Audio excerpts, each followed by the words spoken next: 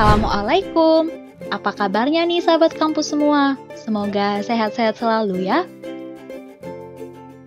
Sebelum sahabat kampus menjadi warga kampus, maka sahabat kampus harus tahu dulu nih mengenai jurusan-jurusan yang telah terakreditasi di UIN Riau.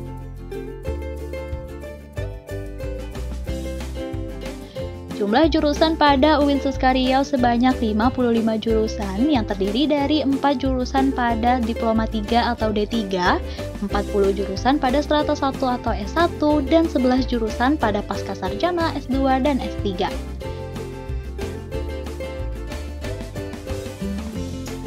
Dari ke-55 jurusan tersebut, 21 di antaranya telah terakreditasi ALO, Kira-kira jurusan apa saja sih yang telah terakreditasi A tersebut? Penasaran kan? Mari kita simak. 1. Jurusan Pendidikan Agama Islam Jurusan Pendidikan Agama Islam berada pada Fakultas Tarbiyah dan Keguruan dengan gelar akademik Sarjana Pendidikan atau SPD.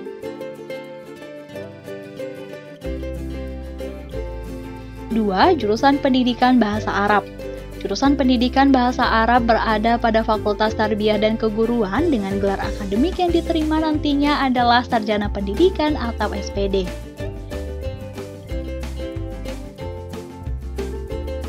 Tiga, jurusan Pendidikan Bahasa Inggris.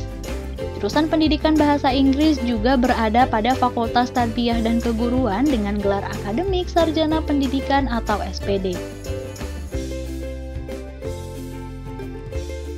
4. Jurusan Manajemen Pendidikan Islam Jurusan Manajemen Pendidikan Islam atau yang biasa dikenal dengan MPI ini berada pada Fakultas Tarbiyah dan Keguruan loh.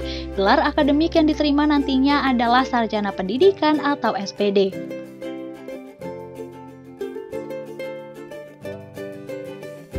Lima, jurusan pendidikan guru madrasah ibtidaiyah.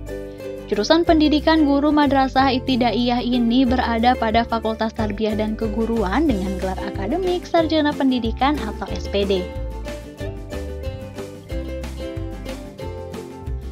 6. Jurusan Hukum Ekonomi Syariah atau Muamalah Jurusan Hukum Ekonomi Syariah atau Muamalah ini berada pada Fakultas Syariah dan Hukum dengan gelar akademik Sarjana Hukum atau SH.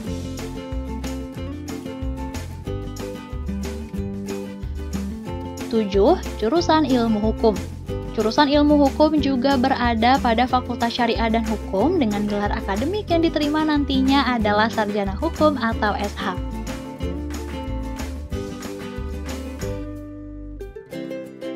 Delapan, jurusan Perbankan Syariah D3. Jurusan Perbankan Syariah D3 ini berada pada Fakultas Syariah dan Hukum dengan gelar akademik Ahli Madya atau AMD.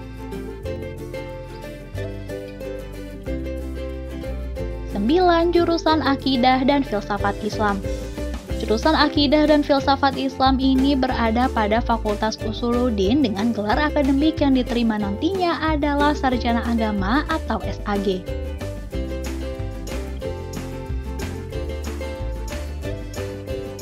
Sepuluh Jurusan Ilmu Al-Quran dan Tafsir Jurusan Ilmu Al-Quran dan Tafsir ini juga berada pada Fakultas Usuluddin dengan gelar akademik Sarjana Agama atau SAG.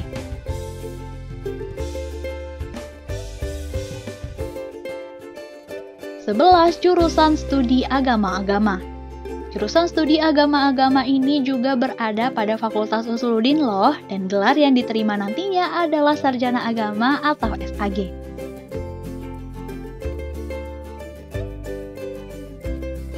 12. Jurusan Pengembangan Masyarakat Islam Jurusan Pengembangan Masyarakat Islam berada pada Fakultas Dakwah dan Komunikasi dengan gelar akademik yang diterima Sarjana Sosial atau ESOS.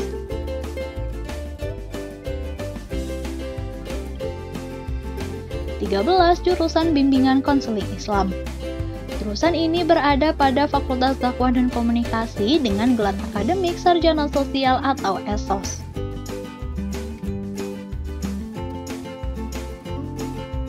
14 jurusan manajemen dakwah. Jurusan manajemen dakwah ini juga berada pada Fakultas Dakwah dan Komunikasi dengan gelar akademik yang diterima nantinya adalah sarjana sosial atau esos loh.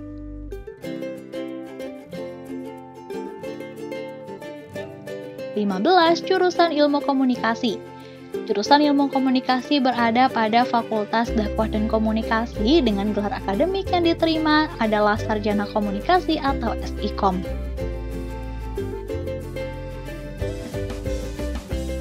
16. Jurusan Akuntansi Jurusan akuntansi berada pada Fakultas Ekonomi dan Ilmu Sosial dengan gelar akademik yang diterima adalah Sarjana Ekonomi atau SE.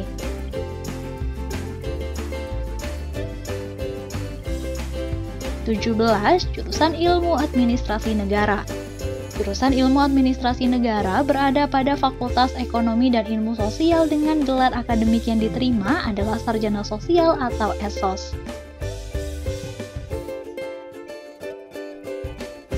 18 jurusan akuntansi D3. Jurusan akuntansi D3 ini berada pada Fakultas Ekonomi dan Ilmu Sosial dengan gelar akademik ahli media atau AMD. 19 jurusan perpajakan D3.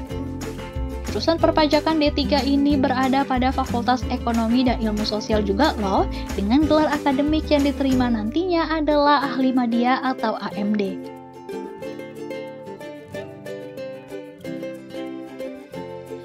20 jurusan peternakan. Jurusan peternakan berada pada Fakultas Pertanian dan Peternakan dengan gelar akademik Sarjana Peternakan atau SPT.